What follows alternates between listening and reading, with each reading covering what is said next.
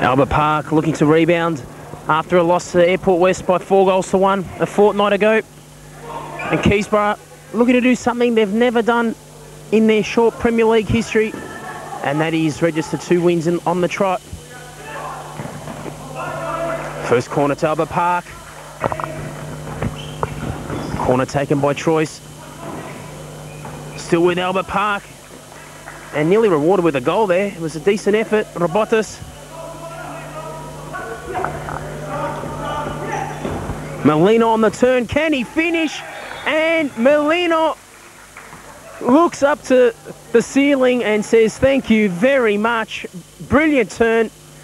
Brilliant finish. It's the first for Keysborough, and it's that man again, Melino. What a season he's having. It's Keysborough 1, Albert Park nil. Keysborough at the moment in ninth position on the table. A win could bolster them up the ranks. It's an open goal here for Fakakis, and he can finish. And there's the response from Albert Park. Keysborough only held the lead there for five seconds, and Albert Park respond in the best possible fashion. Scores locked at one all.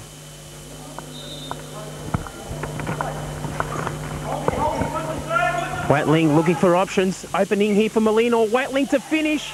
And great combination there between Melino and Watling.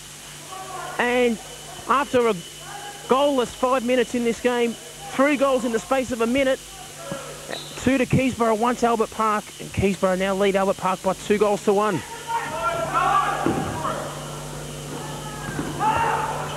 Melino and he's opposite Robotis will have to keep close checks on him.